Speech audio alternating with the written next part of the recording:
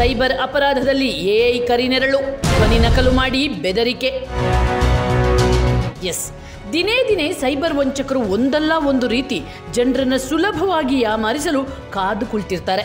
ಈಗ ಇಂಥದ್ದೇ ಒಂದು ದಾರಿ ಕಂಡುಕೊಂಡಿರೋ ಖದೀಮರು ಅಡ್ವಾನ್ಸ್ಡ್ ಆರ್ಟಿಫಿಷಿಯಲ್ ಇಂಟೆಲಿಜೆನ್ಸ್ ತಂತ್ರಜ್ಞಾನದ ಮೂಲಕ ನಿಮ್ಮನ್ನು ಯಾಮಾರಿಸಲು ಹೊಂಚು ಹಾಕ್ತಿದ್ದಾರೆ.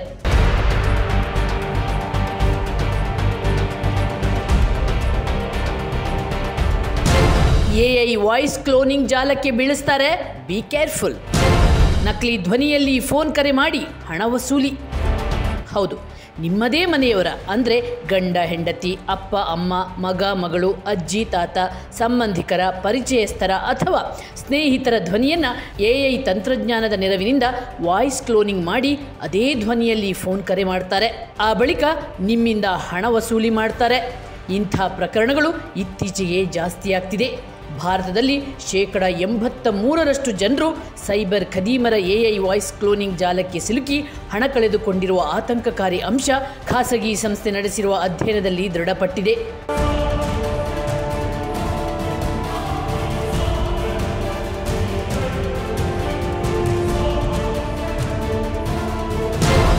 ದಿನದಿಂದ ದಿನಕ್ಕೆ ಹೆಚ್ಚಾಗುತ್ತಿರುವ ಸೈಬರ್ ಪ್ರಕರಣಗಳು ಇನ್ನು ಈ ಅಪರಾಧ ತಡೆಗೆ ಪೊಲೀಸರು ಬಿಗಿ ಕ್ರಮ ಕೈಗೊಳ್ಳುತ್ತಿದ್ದರೂ ಕೂಡ ಖದೀಮರು ಮಾತ್ರ ದಿನದಿಂದ ದಿನಕ್ಕೆ ಅಪ್ಡೇಟ್ ಆಗಿ ವಂಚನೆಗೆ ಹೊಸ ಹೊಸ ದಾರಿ ಹುಡುಕುತ್ತಲೇ ಇದ್ದಾರೆ. ಭಾರತದಲ್ಲಿ ಎರಡು ಸಾವಿರದ ಇಪ್ಪತ್ತೊಂದರಲ್ಲಿ ಐವತ್ತೆರಡು ಸಾವಿರದ ಒಂಬೈನೂರ ಎಪ್ಪತ್ತ ನಾಲ್ಕು ಸೈಬರ್ ಪ್ರಕರಣಗಳು ದಾಖಲಾಗಿವೆ. ಇನ್ನು ಎರಡು ಸಾವಿರದ ಇಪ್ಪತ್ತೆರಡರಲ್ಲಿ ಅರವತ್ತೈದು ಸಾವಿರದ ಎಂಟುನೂರ ತೊಂಬತ್ತ ಮೂರು ಕೇಸುಗಳು ವರದಿಯಾಗಿವೆ. ಇನ್ನು ಎರಡು ಸಾವಿರದ ಇಪ್ಪತ್ತ ಮೂರರಲ್ಲಿ ಹತ್ತು ಲಕ್ಷದ ಹತ್ತು ಸಾವಿರ ಸೈಬರ್ ಅಪರಾಧ ಪ್ರಕರಣಗಳು ವರದಿಯಾಗಿವೆ. ಈ ಖದೀಮರು ಹೇಗೆ ವಂಚಿಸ್ತಾರೆ ಗೊತ್ತಾ? ಈ ಖದೀಮರು ಯಾವ ರೀತಿ ವಂಚನೆ ಮಾಡ್ತಾರೆ ಅಂತ ನೀವು ಯೋಚಿಸ್ತಿರಬಹುದು. ಆದರೆ ಈ ಖದೀಮರು ಹೇಗೆಲ್ಲ ಯಾವ ರೀತಿ ವಂಚಿಸ್ತಾರೆ ಅನ್ನೋದನ್ನು ನಿಮಗೆ ಹೇಳ್ತೀನಿ, ಗಮನವಿಟ್ಟು ಕೇಳಿ. ಸೋಷಿಯಲ್ ಮೀಡಿಯಾಗೆ ಅಪ್ಲೋಡ್ ಮಾಡುವ ಆಡಿಯೋವನ್ನು ಈ ಕಳ್ಳರು ಕದೀತಾರೆ. ಇನ್ನು ಕೆಲವೇ ಸೆಕೆಂಡ್ಗಳ ಆಡಿಯೋ ಸಿಕ್ಕರೂ ಸಾಕು. ಅದನ್ನೇ ಎ ಐ ಮೂಲಕ ಕ್ಲೋನಿಂಗ್ ಮಾಡ್ತಾರೆ.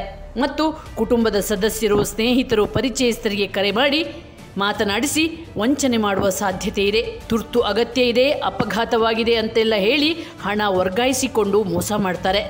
ಇದಷ್ಟೇ ಅಲ್ಲದೆ, ಪಾಲಕರು, ಸಹೋದರರು, ಪತ್ನಿ, ಪತಿಗೆ ಕರೆ ಮಾಡಿ ಡೆಬಿಟ್ ಕಾರ್ಡ್, ವಿವಿಧ ಕಾರ್ಡ್ಗಳ ಮಾಹಿತಿ ಪಡೆದು ಬ್ಯಾಂಕ್ ಅಕೌಂಟಿಗೂ ಕನ್ನ ಹಾಕ್ತಾರೆ.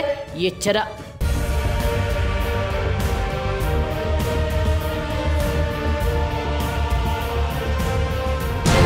ಸಬು ಹೇಳಿ ಹಣ ಕೇಳೋರನ್ನ ನಂಬಲೇಬೇಡಿ.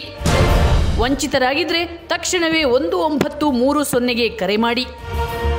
ಒಂದು ವೇಳೆ ನಿಮ್ಮ ಪರಿಚಯಸ್ಥರ ವಾಯ್ಸಲ್ಲಿ ನಿಮಗೆ ಸೈಬರ್ ಖದೀಮರು ಕರೆ ಮಾಡಿ ನಾನಾ ರೀತಿಯ ಸಬೂಬ್ ಹೇಳಿ ಹಣ ಕೇಳಿದಾಗ ಅದು ಅಸಲಿಯೋ ನಕಲಿಯೋ ಅಂತ ತಿಳಿದುಕೊಳ್ಳಿ. ಒಂದು ವೇಳೆ ಈ ವಂಚಕರ ಜಾಲಕ್ಕೆ ತುತ್ತಾಗಿರೋದು ಗೊತ್ತಾದ ತಕ್ಷಣವೇ ಸಹಾಯವಾಣಿ ಸಂಖ್ಯೆ ಒಂದು ಒಂಬತ್ತು ಮೂರು ಸೊನ್ನೆಗೆ ಕರೆ ಮಾಡಿ. ಇನ್ನು ಈ ಕರೆ ಉಚಿತವಾಗಿದ್ದು ದೂರು ದಾಖಲಿಸಿ. ಮುಂದೇನು ಮಾಡಬೇಕು ಎಂಬುದರ ಕುರಿತಾಗಿಯೂ ಸಹಾಯವಾಣಿ ಸಿಬ್ಬಂದಿಯೇ ನಿಮಗೆ ಮಾರ್ಗದರ್ಶನ ಕೊಡ್ತಾರೆ.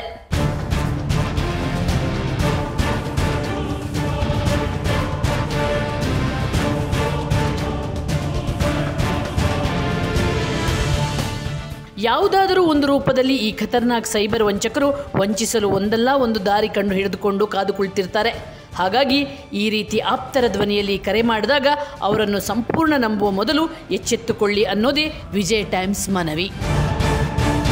Bhavyashree RJ, Vijay Times, Bengaluru.